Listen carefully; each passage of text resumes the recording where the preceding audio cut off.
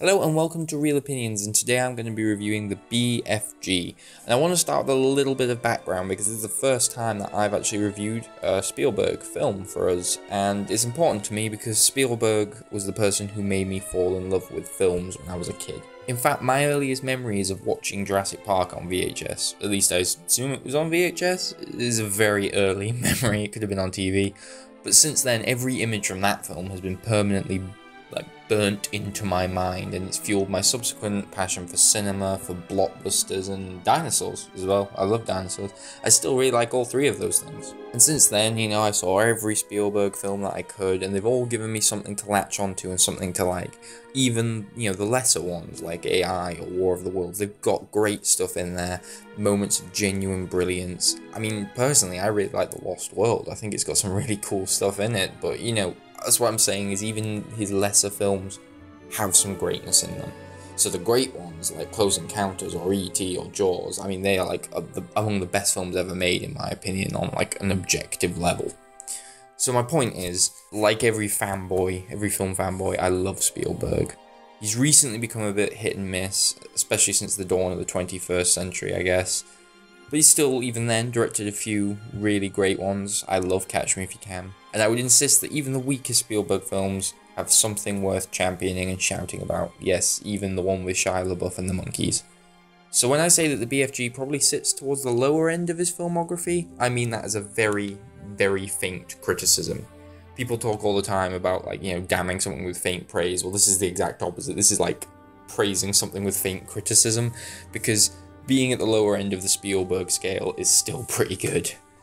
So, while his latest effort may lack that kind of implacable, uh, very kind of like abstract sense of magic that E.T. has, or the wonder that Jurassic Park instilled on my impressionable mind as a kid, it is still a charming, entertaining, and really likable film. For those who don't know, it tells the story of Sophie, who's played by Ruby Barnhill, I think that's her name. And Sophie is a young orphan who is captured uh, by the BFG and taken to Giant Country. There, she bonds with him. Uh, he's played by Mark Rylance, uh, you know, Oscar winner now, Mark Rylance, uh, and he's learning. And and they he starts to teach her about his way of life, the food he eats, his career as a dream catcher, that kind of stuff. But it also transpires that the BFG is not only comparatively approachable for being a giant and comparatively friendly, but he's also not that big and there are far bigger and far nastier giants out there. These giants, uh, they don't share his vegetarian lifestyle, and are always on the lookout to eat any humans that they come across. And they regard the BFG himself with contempt, kind of they call him a runt, and they think he's a disgrace to giant kind because he's so nice and kind of in their eyes weak, I guess.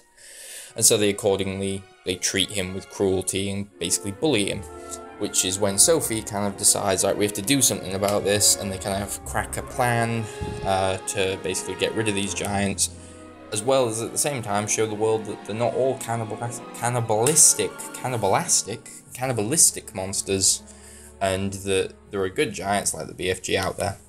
It's a simple story, but it's also one that takes a long time to get going.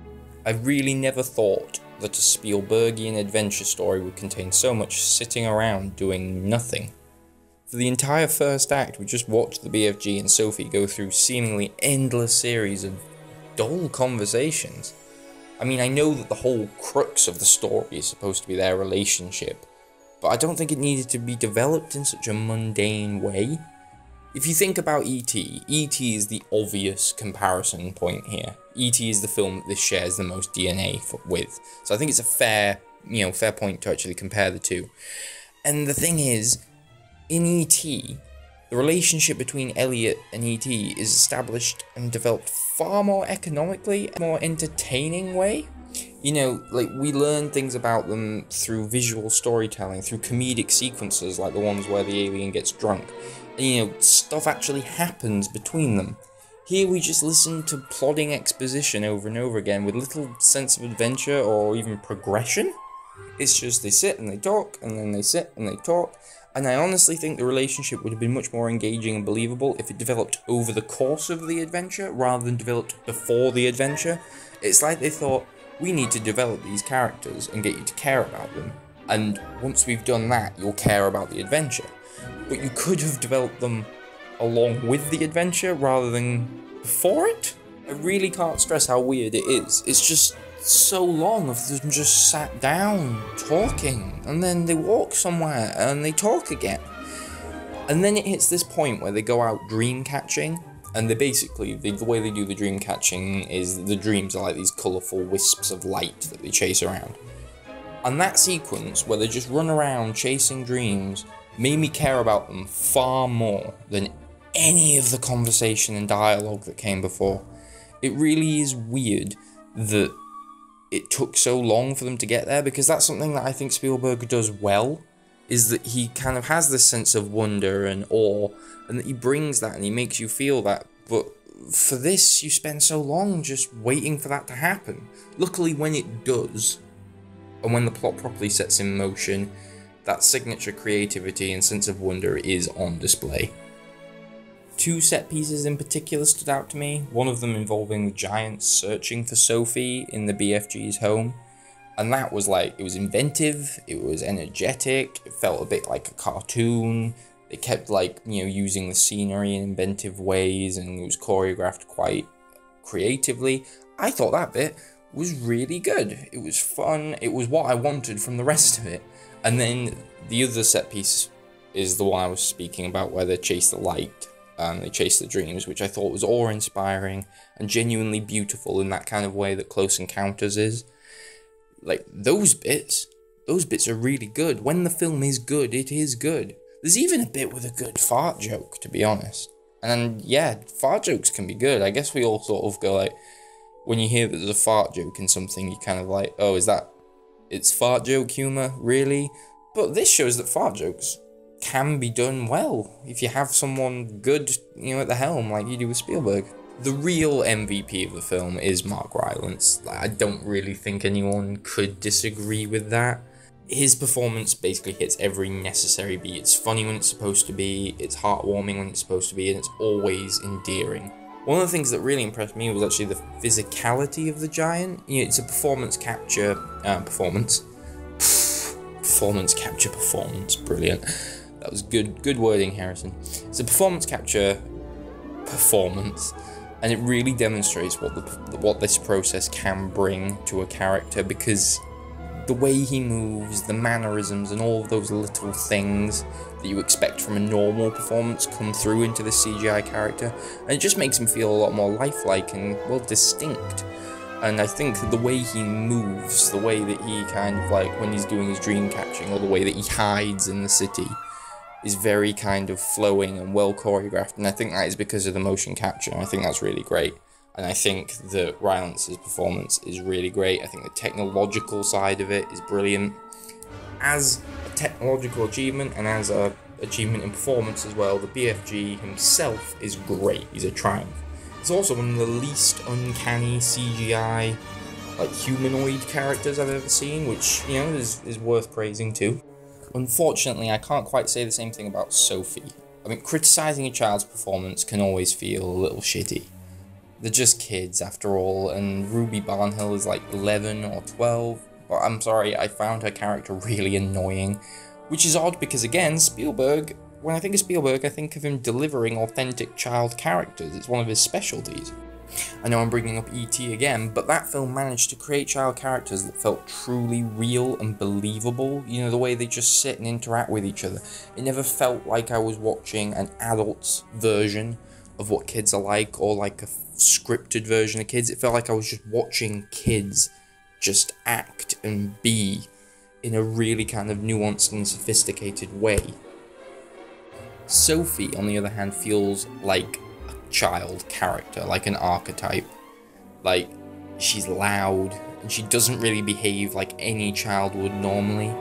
She lacks any of those detailed behavioral like quirks that you know really make these child characters feel real. You know, you think of like say Jaws, and there's the bit where the kid's like mimicking his dad's face movements.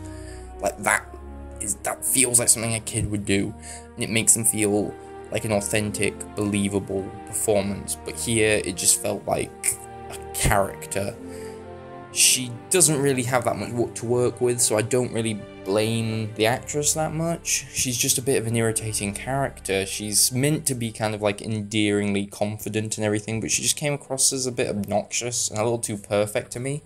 You know, Elliot in E.T., he was flawed, he had weaknesses, he got scared, he got upset, and that was what made him feel real, and that was what made you feel connected to him. Sophie is just kind of perfect, and I don't mean to do the whole Mary Sue thing, because it annoys me, but she never messes anything up, and she never shows any vulnerability. But more importantly, it never felt like she was scared. Like when the giants are coming to attack her, she just sort of feels like a kid acting, not like a child genuinely reacting to these things. And I just thought, like, where's the Spielberg who brought the kids from ET? Where's the Spielberg who managed to do great family dynamics with Close Encounters? Where's where's the Spielberg who managed to bring these child characters to life in a really believable way? My other big criticism is one that I never expected to be making in like a million years. Like, I'm genuinely shocked that I'm going to be saying this. But I didn't like John Williams' score at all. John Williams is one of my heroes. He's been instrumental to some of my favourite movie moments, some of the ones that shaped my childhood and my later life. He is a genius, and he is unrivaled in the realm of film scoring. He truly is. And I can't expect him to deliver like Jaws level brilliance every time. But I kind of expected more than this. It just feels like he filled the soundtrack with cues that weren't good enough for Harry Potter. Like the leftovers from Harry Potter or from Tintin. I've listened to it a few times now, and okay, there's maybe a couple of motifs that I pick up, but most of it's just kind of unmemorable. But even more surprising than that, because, you know, making an unmemorable score isn't that bad. You know, John Williams has done hundreds. Some of them aren't going to be that memorable. But some of it's actually kind of annoying. It just feels like repetitive, generic, whimsical music, and it never really goes away. It's just there all the time. You're just hearing. Um, and it's just a bit irritating, I thought. A lot of people have really liked the, the score, though, which is great because I'm always happy when composers get name checked and referenced because I don't think that they get that enough. But in my opinion, this time I didn't really feel it. Overall, I'd say the BFG has its moments, particularly in the latter half, and it definitely has some visual flourishes. The bits with the light genuinely can be quite beautiful. Um, you know, say what you want about Spielberg, but he can make some impressive images when he puts his mind to it, and this film does evidence that talent at times. I also really liked how they visualize the dreams during these weird alchemy sequences. If you see the film, you'll know what I mean. Like when they're making dreams, they visualize it in quite an inventive way that I liked. Nonetheless, I couldn't help but feel like some of the magic was missing. I want to reiterate, I'm not saying everything needs to be ET to be brilliant. I know I've compared this loads to ET. Not everything needs to be ET, but I do feel like way too much of this film was just meh, and I couldn't get attached to the lead character and Sophie at all. So those feel like fairly big criticisms. Still, I would recommend it. It's got some good moments, and the BFG himself is a great creation and brought to the screen brilliantly. And you know, like I said, Spielberg at his weakest is still Spielberg. Overall, I'd give the BFG either a low 7 or a high 6. I think I'll be generous enough and go with a low 7. But yeah, I don't know. It just feels like. It almost feels rushed. I don't know. Like like he paid attention on certain sequences and other things he just kind of did to get out of the way. Still, good. You know, a good film nonetheless. Thank you for watching, um, and I'll probably have another review to you soon. Bye bye.